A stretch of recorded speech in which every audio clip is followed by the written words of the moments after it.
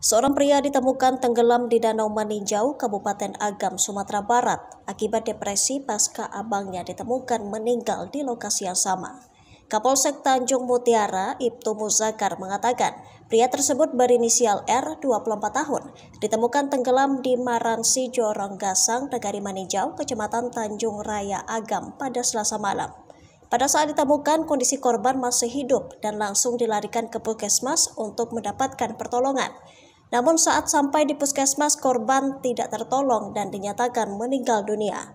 Kapolsek menyebut sebelum meninggal R mengalami trauma pasca jenazah abangnya ditemukan mengapung di Danau Meninjau beberapa waktu lalu. Berdasarkan keterangan keluarga dan warga setempat, R sangat dekat dengan abangnya dan jarang bersosialisasi bersama warga. Ibtu Muzakar menjelaskan sebelum meninggal dunia, korban pergi ke kamar mandi dan menghidupkan air keran.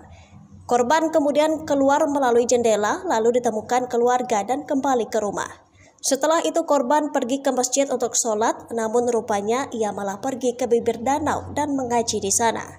Warga yang melihat korban kemudian menyuruhnya pulang namun tidak diindahkan. Korban lalu menceburkan diri ke danau. Melihat situasi itu, masyarakat langsung melapor ke polsek dan memberitahu keluarga serta warga lainnya.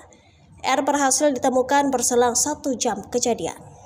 Download Tribun X sekarang, menghadirkan lokal menjadi Indonesia.